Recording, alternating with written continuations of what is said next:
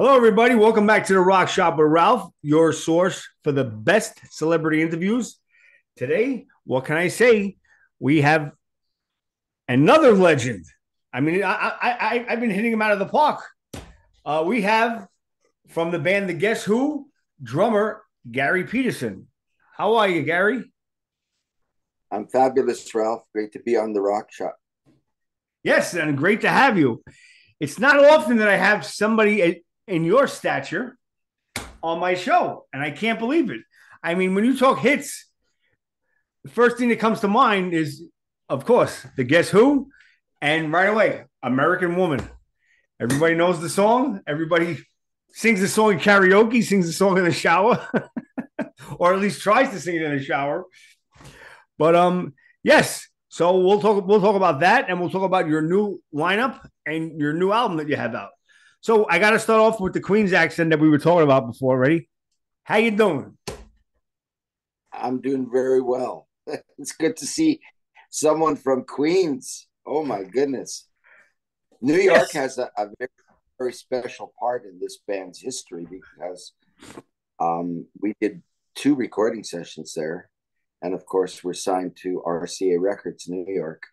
So uh, that's kind of where it all started in the United States for this band in New York City, which is wonderful. Great. And now, you know, we can't talk about the Guess Who without talking about past members. Um, Burton Cummings, Randy Bachman, you know, two awesome talents, two awesome talents. Right. They're no longer in the band. There's a new formation of the band, and we'll talk about that. But uh, let's talk about your hits how, how when, when you got when you got when you got songs on the radio such as uh, American Woman and These Eyes, and they're selling multi multi platinum. How, how, does how does the band feel? I mean, what what what what is what is your your mindset like when you have those songs on the radio? Are you kidding? Coming from Winnipeg, Manitoba, Canada, and being I didn't want to say it like that, Garry, but you know, come on. Well, think think about it. What are the what are the odds and the chances of that happening? But I mean, our first experience in New York City is when we had Shakin' All Over out, which was our first record. First hit, and was right. picked up.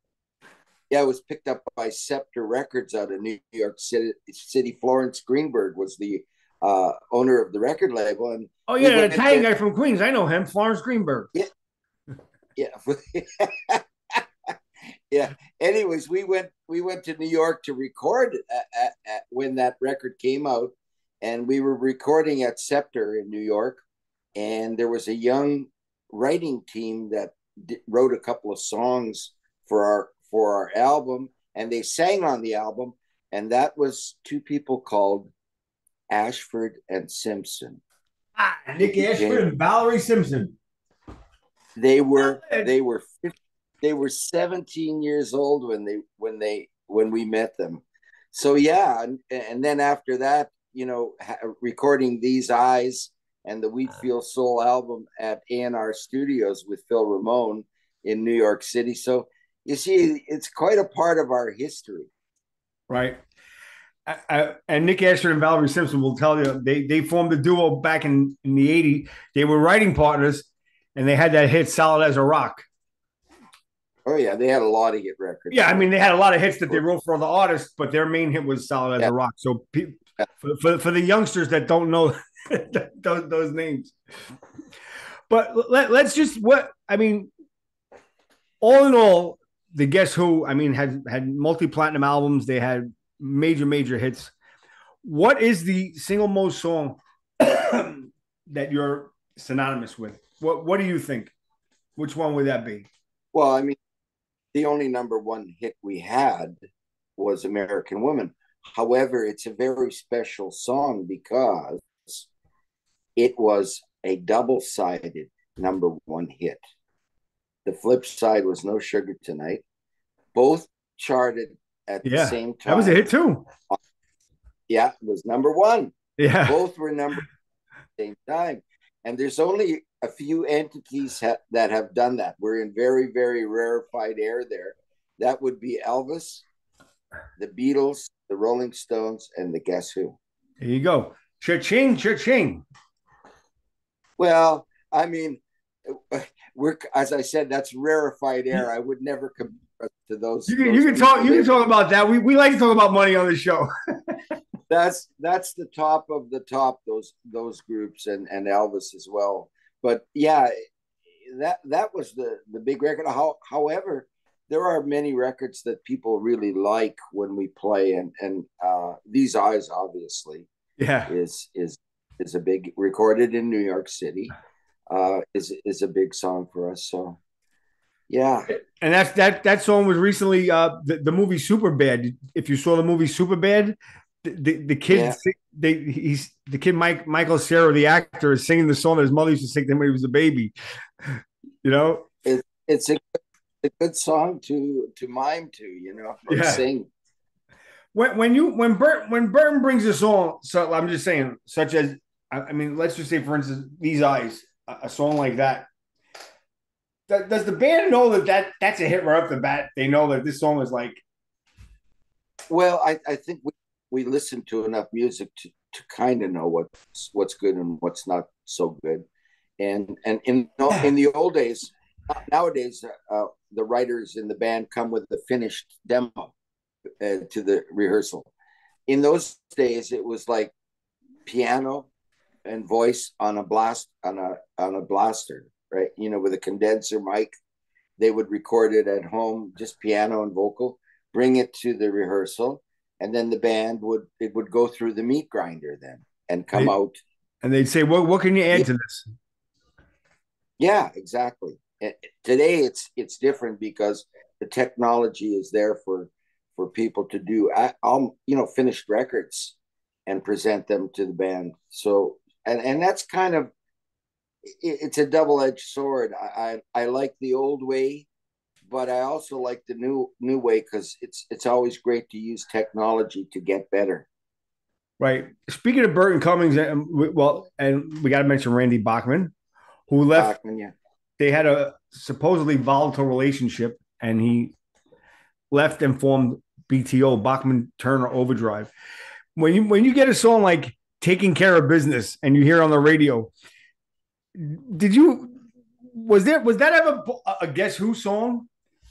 I mean, No, but I what I always have thought let's let's let's turn the clock back and let's look at the history of the Guess Who and all the hits. What if Randy stays in the band and we have all of BTO songs with Randy singing right. as his? So I always look at it that way. Well, know, that's what I'm saying. That's what I'm saying, uh, What Garry. if- What if. I know what woulda, coulda, shoulda? You know, I, am just Yeah. saying he, he leaves, he leaves, he leaves, he leaves the guess who, and he forms them, and, and he has massive success, massive hits. yeah. Was that what he wanted in the band? Did he want to? Did he want to be front man, front and center, singing? I, don't- I don't really think so. I think it was a happen chance kind of kind of thing. I, I'm not sure. We we parted not on the best terms at that Right. time, uh, but that'll come out. The, the true story of the breakup, which happened at the City Squire Hotel in New York City again. Ah, we And we're front last- center with the last- everything. Yeah, the last date that we played with Randy was at the Fillmore East in New York City. So all of that story, the true story of the breakup, is in my new book, which I'm working on now. And you work. And when when will that book be out? And do we have a name? Well, I'm I think I'm going to call it a band of brothers. A band of brothers. Yeah. Well, how about guess who? It's Garry Peterson. How about friends of mine? anyway, yeah, I, I mean, I, I had to do this book. I didn't want to do it. People have been after me for years, but then I thought I need I need to do it really for myself, so I can take all of these doors that have been locked in my head for so long, and open them and and and just put down in words my experience of 62 years in this band. Wow, 62 years. I, I was I was swimming somewhere 62 years ago. and we know where that is. But I, I mean, well, if, if you think about it, you think about it, Ralph. The people that that are 50 years old that come to see the band today, they weren't born when these eyes and American women were out. So that puts everything in into perspective. Exactly, and that, and that shows your longevity and how much people adore you and love you in the music business that you're still doing it today. Yes, and and it, it's a tribute to and, and again, our mission as the Guess Who right now. I'm the only original member left, but my my mission here with with the band that I have is to honor uh, and and celebrate all the great songwriters and and and musicians and singers that have passed through this band and left their mark on the band. Yes. as as important is to be able to do new material to add to that legendary uh, catalog. Yes, and we're going to talk about the new album in a couple minutes. So, I mean, I see your platinum and gold albums on the wall. Which um, what's your favorite Guess Who album? Wow, I, I you know, and don't say that your babies, you love them all. Come on, give us one. No, seriously, whatever album I'm listening to at the time, um, just for different reasons. I see, I listen to a lot of our stuff when I'm flying on an aircraft, and I listen to it in in chronological order, and it gives me a progression of musicianship the writing of the guys in the band, how it's progressing through these years, and how how my my playing as a drummer is changing. You know, you have all of that in front of you to be able to analyze. Right. However, rocking, rocking, the rocking album was basically a live album off the floor of of the studio. So live on that, tape yeah live live tape right? You know very little fixing done on on, on the on the record. So that was a fun record but but there there are so many that i enjoyed. And and as i look back over the years i go man are you lucky to have been able to be a part of all this music? How did that happen? Right. What what's what's your favorite memory? Let's just say what, what well and I'm, I'm not discounting the, the past members, but Burton and and um, Randy, what's your favorite memories of those guys? And oh. and there's a two part question. Would you ever play live with them again? Um, I I guess I would. Yeah, I mean, why not? I mean, it would be if we ever went into the Rock and Roll Hall of Fame. Oh, here we go again. I would certainly do that. Um, I, I'm not sure that that that it will ever happen again where we play live again, you know. Um, but yeah, and my memories of them is is how we all grew up. I mean, I played little league baseball with Randy. That's how I met him, and he was one of my best. We used to double date and go to midnight drive-ins together, and you know, those are all memories. And, and traveling on the road uh, in uh, in Western Canada, forty below zero in a car, and you know, on to, uh, going going to play gigs. Um, all of that is indelibly etched in my mind, and and you know, there's been there's been acrimony between the members of the band, but I would rather think about the great times we had than think about the bad stuff. Right. I had I had Lou Gramm from Foreigner on two weeks ago. That's another band that deservedly belongs in the Rock and Roll Hall of Fame. I mean, the Guess Who? I mean, come on, they had they should be in there as well. And and this is an argument that I have when I when I get legendary musicians that have been around for so long. I mean, they should just change the name from the Rock and Roll Hall of Fame, make it the Music Hall of Fame, because you're putting you're putting rappers and and you know non-rock artists in there, and you got bands like I'll, I'll give you three. American, um, American, Grand Funk Railroad should be in there. The Guess we Who? Play, we play with them uh, quite a bit, and Three Dog Night. Yeah, Mark, Mark Farner's been on my show twice. And yeah. and Farner, I mean, come on, these are bands that started they, they started back back when it was an, an embryo in the embryonic stages, you know, maybe maybe a little bit later. Well, but, I but, but but still, I look at it like this. I know coming from Winnipeg, Manitoba, Canada, what we accomplished. I know exactly what we did, and I know what we didn't do. I mean, we're not the Beatles or the Rolling Stones or anything like that, but I know I, am very proud of our accomplishments as a, as a band and creating music. So that's all that's really important uh, to me, you know, and the fact that we are still able to go out and, and do what we love to do, which is entertain people.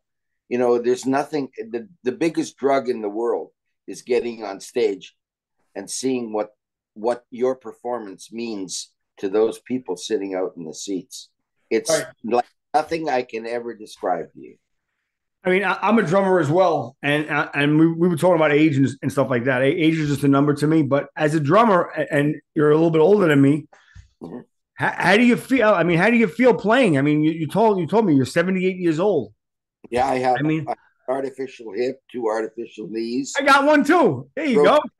I need two shoulder replacements. I've had my ulnar nerves moved in my elbows. I've, I've, uh, you know, I've got all kinds of things, and yet I can, and I've got uh, uh, spinal stenosis from sitting on the stool, and I still enjoy playing. I still can play, and I will con- continue to do this until God says to me, "That's it, boy." And that that ain't coming anytime soon. I hope not. I we're we're starting to work on a new album right now. This album hasn't hasn't been finished yet, and uh, the one that's out now. And we're I, I just got a, a file from uh, Derek Sharp uh, with eight eight songs on it. So we're ready. We're ready to go all over again. Okay. Last question about the former band. What what what's your relationship with those guys? How how how do you stand with them, and how do they feel about? And we're going to talk about this now. You're the original, the only original member left of the band, and you're yeah, still touring as the Guess Who. Really have a relationship with them. I I've talked to Randy every once in a while, uh, not not so much to Burton.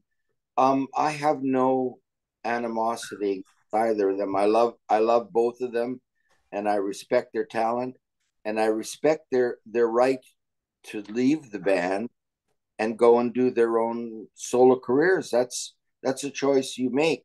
We had two reunions, one in the 80s, one in uh, 1999 to 2003. Those were opportunities for the band to stay together. Hey. And why are why why am I still here and no one else? I mean, that's that's something and and that's just the way it is i know a lot of fans are disappointed uh, because we're all still playing but i mean every individual has a goal of what they want to do and i respect that right right well guess who has new members uh, i'll give them a shout out we got garry peterson on drums we got leonard shaw uh, we have Derek Sharp, who you mentioned before. He's on vocals. Um, Michael, how do you pronounce? Is it Michael? Michael Staertow. How do you say it? Staertow. Staertow. like stair toes. That, that, yeah, Staertow. Staertow. And, and by the way, he's a former guitarist with Lou Gramm. Yes, yes. I, I, was just about to mention he played with Lou Gramm. I mean, you yeah. got you got and, and you now wait, here's one of my boys. You got Michael Devin on bass who plays played in Whitesnake. Yes, yeah. and wait, ahead. Yeah, he was on this album. However, uh, the Dead Daisies has stolen Michael from our band. Great and band. Now, and now Graham, uh, uh, Greg Smith is going to be our new bass player. Greg Smith. Yeah, he, he's all over the place. Yes. And you know he's from New York. I do. I do. I'm, I'm going to see him uh, next in two weeks. So uh, we're York? very happy. He's another great talent on bass and also a great a, a great elite singer on his own. You know, he yes, sings. Yes, yes. That's what that's the direction that our band is going. And if you listen to the new album, you'll hear a lot of intricate vocal parts on that album. And we're going to talk about that. But I got to mention one one of my favorite bass players you had in the band who toured with you before, Rudy Sarzo. Oh yeah, Rudy's a great friend of mine. What a, what, how the hell? I, I couldn't believe when Rudy Sarzo was playing bass in the Guess Who. Well, yeah, but Rudy will tell you that the the Guess Who's material was was a soundtrack of his life when he came from Cuba. Yeah. Oh, Miami, you know, he was listening to the and playing uh, some of the stuff that, you know, he ended up in in a in a metal world, but yeah. but still Rudy could play anything, you know what I mean? I, I got I got his picture on my wall there. That's Rudy up there. There he is, yeah. Yeah, but you know what? I, it was funny because I, I in my pre-show days, about maybe five five years ago or whatever, I saw him at a convention and he he was doing a Q and A, and yeah. one of the one of the questions I asked him was, "Hey Rudy, you've been around for so long. Uh, it, did, can you name a band that you were almost in that that you didn't quite get? Because he was around for a while before he became quite right. He he auditioned for Eddie Money, and he almost was Eddie Money's bass player. Yeah. So that that would explain the guess who Eddie Money. I mean, he he yeah, no, These are guys. We're we're talking about top rated musicians that can right. that can move from one area to another just with a you know it's just a matter of what you really want to do and and his heart is where where it is so you know yes. well garry the new album and is called go ahead i'm listening the, the new album is uh plein d'amour which means you had to go french right yeah you well, had to go french canada you know what I mean? I was, I know. I was, I was going to try to pronounce it, and I, I, I wanted to see if you were going to laugh at me. I was going to say, no, no. Plein uh, d'amour. Plein. Plein. D'amour. Plein d'amour. More. Yeah. One thing about you, one thing about French is when every time you talk, uh, uh, it's like your tongue is hanging out of your mouth. well, we could go German. Anyways, it's all good. All all the countries are good. We all we need all our people. Oh yeah, yeah. We need all our people to make a world. And uh, yeah, the album the theme of the album is is you know there was a, a little group from Liverpool that said it very well. All you need is love, and we listened to that for a while, but we forgot it, and now we're reminding people that we need more of love in the world. We need more of of of loving each other and talking to each other, listening to each other, you know, and and that's kind of the direction that this album went. Yeah, this Derek is a phenomenal singer in his own right. Derek is a phenomenal talent. He he wrote all the songs. He produced the album.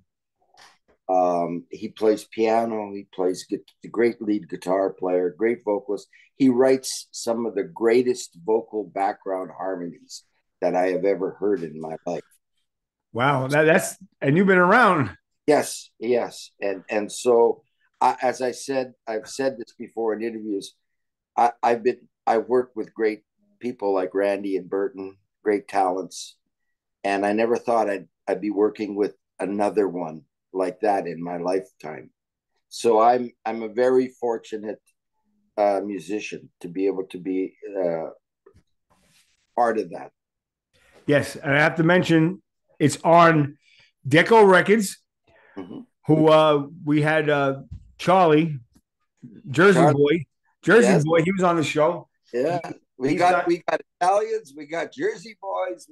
Actually, yeah. we're we're we're coming up to playing in Atlantic City uh, uh, very shortly in in about the three weeks. Were you playing in Borgata? No, uh, Golden Nugget. Oh, Golden Nugget. Yeah, it would be great if you came and met the band. It would be I, so. You know what? I, I, get invitations all the time. I, I would love to. I'm in the process. What, what, what's that date? Uh, I'm not sure. I know it's it's it's uh, around towards the end of September. That that's right about right about when I'll be moving. So yeah. we'll, we'll try to make it work. It's always the, it's always the well, demographics. I've got news for you. Next year, come March and April, you told me. Not, have nine dates in Florida, which There will you be, go. each one will be less than 100 miles from your house. Oh yeah, de- definitely. I, I, I'll, I'm definitely gonna make it to one because I, I'll be honest with you. I have yet to see the Guess Who. I Well, have. this is a if you look at the the people that have seen the band in the last year or so, uh, how they talk about the the concert experience. Uh, if you go on our social media and take a look, it, it's a great experience. It's better to see the band live, and then then you'll get what we're doing. Yes. Well, as I said, the new album is called Plein d'Amour, Yeah, that's Right? correct. Yeah. and it's out on Deko Records. How's the Yeah. first single doing? Um, everything is great. We're actually doing, which is very courageous, I think, on behalf of the band. We're doing half the album on stage with the hits, and every every single cut. There's eight cuts on the album. Uh, every cut is going to have a video, and I think there are like at least four out now on our social page, on our our website and the YouTube page. Guess who YouTube page. So people can actually before they come and see the band they can look at this these videos and see the music that they're going to be hearing on stage. Great. Now the, the, next the next day the next day you guys have is that the Atlantic City gig? Uh, no, we're we're going. Uh, I think we're going up to uh, Ohio first, and then uh, we've got a few other dates. Uh, yeah, Atlantic City is is in amongst those dates. We're going from Ohio to Atlantic City, so that's. Let me see. That's around the twenty third of September. We're in Atlantic City. Oh, oh it's coming it's coming up soon. Two Yeah, weeks. Very good. Yeah, two weeks. Two weeks. Well, listen, it's been And a if you pleasure. needed to go, uh, Chip can certainly hook you up. Yeah, Chip. Come on, from one Italian to the next. Send me something. Nah, I'm only kidding. I never expect anything, but I appreciate No, it. but but but it, it, it is true. It's it. I we're talking about all this stuff. You need to come and see it. I, I then- definitely I then it off my bucket list. Yeah, that'd be great. We the band would love to meet you. Yes. And I'd love to meet the rest of the guys too, Yeah, especially Michael. yeah. Michael, he's a New York guy. I'll Well, actually, he's you, you said he's he, he's back in the Dead Daisies anyway. He's not he's not touring with you oh, and Michael Devin is with the Dead Daisies. Yeah, now now. Who who do you have? Who do you have? Oh, you have uh Greg Greg, Greg Smith. Smith. Yeah. Oh yeah, another New York boy. Yes. Yeah, Yeah. yeah. Yeah. All right. Well, I want to thank I want to thank Garry Peterson. I mean, we could talk for hours, Garry. But, um, yeah.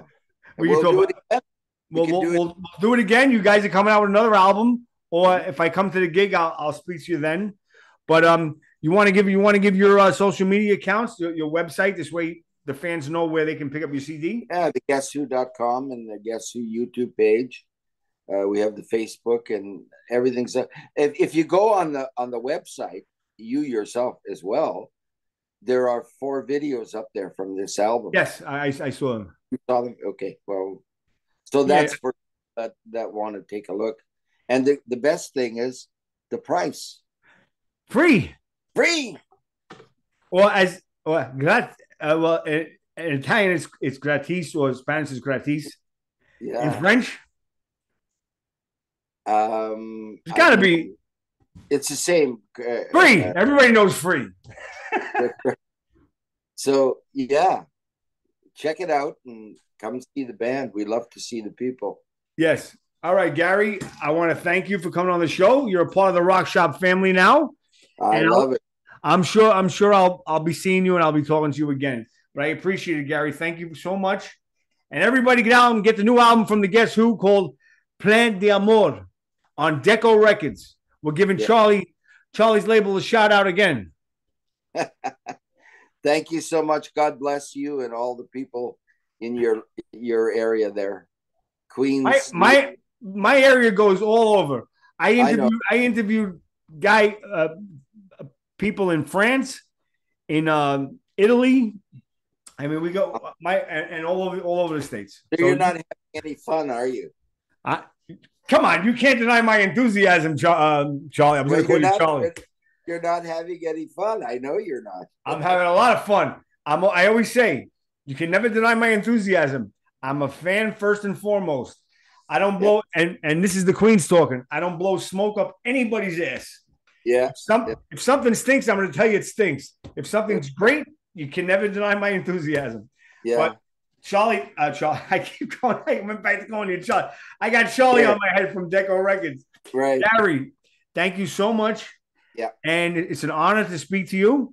And I will be seeing you and I'll be listening to you as soon as I get as soon as I get, get done with this interview. I'm going back to, to, to listening. Bless you. Thank you very much. Bye now.